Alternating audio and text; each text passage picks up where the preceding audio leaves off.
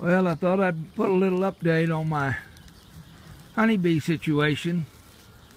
Here it is, January the 30th, 2017, and my little bees are just going nuts here again. I went down to our local grocery store the other day and bought some more of these cheap popsicles. I'm going to put this one in the water.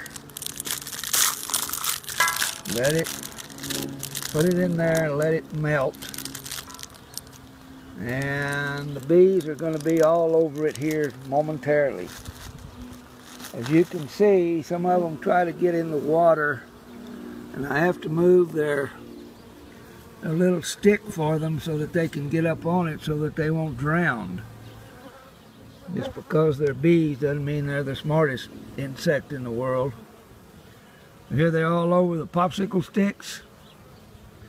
I think this is just amazing that these little old bees are just all over my bird bath here. There's one one crawling on my arm a minute, my hand a minute ago. I had to get him out. Here's one that's stuck in the water. Let me see if I can get him out. Come on, buddy. Come on, buddy. Get out. Ah, there he is on my finger. He'll fly off there in a minute. They're not here to hurt us. There he went. There he went. Here comes another one that's got in the water. Got him up on my finger again. As soon as his little wings dry out, he'll fly off.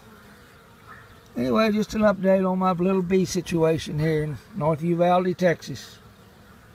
You all have a great day and may God bless. Thanks for the watch.